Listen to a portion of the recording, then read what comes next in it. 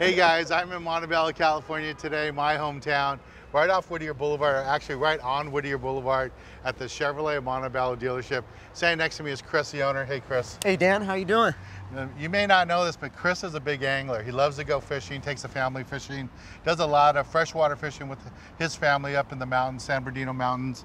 And uh, Chris, we want to talk to our viewers a little bit about its fishing season is right here. Definitely. A lot of guys have boats that watch our show and follow us on Facebook. Yep. And they've been working on their boats. We've been doing a series on Absolutely. little things to get your boat ready. We haven't talked about getting your truck ready to tow the boat. That's funny, Dan, because I just I just dropped my uh, my ski boat and my uh, pontoon boat in uh, actually this week. At the Uh, lake? so it's at the lake. So I'm I'm on board with you, getting it all ready. Uh, but a lot of people don't know about getting their truck ready. Mm-hmm. Uh, Hey Chris, so what are some of the key things that they should look for? Well, Dan, number one thing is brakes. you want to make sure that before you take your boat, whether it's the Baja, San Diego, up to Lake Arrowhead, Lake Mead, you want to make sure you get your brakes inspected. Right. A lot of people don't know that. When you're going down that ramp or going up that winding mountain, That's a bad time to find out they're not working. well, you're putting you're putting extra stress on your brakes. You- You're you're towing, you know, 8,000, 10,000 pounds. You're putting more wear and tear on your brake pads. So you want to make sure that you get your brakes inspected, and not only the brake stand, but also your suspension.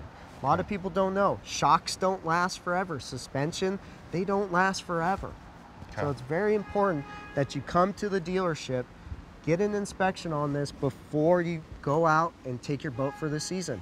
One time, you do it in, you know, May mm-hmm. or April, May, and then you're done. Then you have peace of mind that you're going to be safe traveling and towing your boat. Now, especially you're taking your family with you.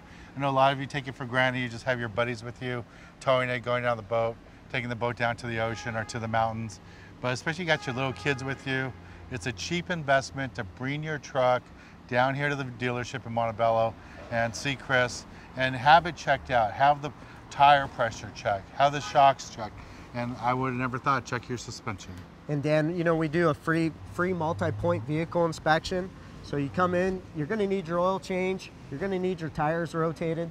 We do a free multi-point vehicle inspection. We give you that multi-vehicle inspection report. So it has three different, it has red, yellow, green. Okay, green means everything's fine. Yellow means, you know, it needs Look some attention. something. You need to look at that. Red means get it taken care of right away. Service advisor will go over that multi-point vehicle inspection with you every time you bring your vehicle in. And also, you want to make sure that you use a quality brake pad on your vehicle. A lot of people think they can go to a uh, aftermarket uh, brake pad. It's not going to last as long, Dan, and it's also you're going to get that squeaking and it's I you know I tell people again and again, yeah, aftermarket brake pad, it's cheaper, but you get what you pay for, as you know, Dan. Yeah.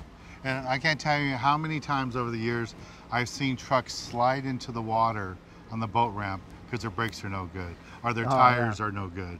So Yep. it's really important if you bring your car into a dealership, they can check for that stuff. There's nothing more embarrassing than having your vehicle just slide right into the ocean. You can't do anything about it. Well, at least you have a new Silverado, so you can tow them out, right, Dan? Yeah. yeah, I have a brand new Silverado that I bought right here at the Montebello dealership, the Chevrolet dealership right here off Chris. So it's pretty good.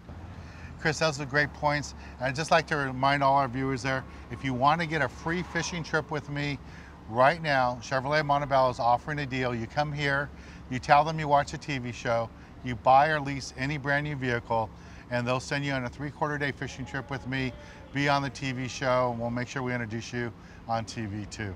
But that's great. Thanks for all those tips, Chris. And they're guaranteed to catch fish when they come with you, right, They Dan? should catch some fish.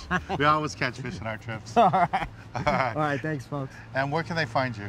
They can find us at ChevroletMontebello.com online, or they can give us a call, 323-728-9181. We're open, service is open Monday through Saturday, Monday through Friday, 7 a.m. to 7 p.m., and Saturday, for your convenience, 8 a.m. to 5 p.m. So That's cool. service is only closed Sunday. Sales is open, 24 7. yeah, well, just about. Yeah, oh. nine, nine to nine, Monday through Sunday. And we're going to be giving you a little series of these videos to help you get ready for the fishing season. You know, I like to make sure that you catch fish, and I'm giving you those tips too. But more importantly, I want to make sure when you tow your boat, you do it safely, you get your family there safely, and you get them home safely.